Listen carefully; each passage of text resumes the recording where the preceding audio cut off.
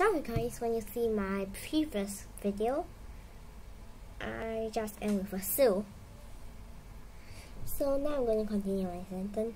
A super fantastic video. Thank you. Bye.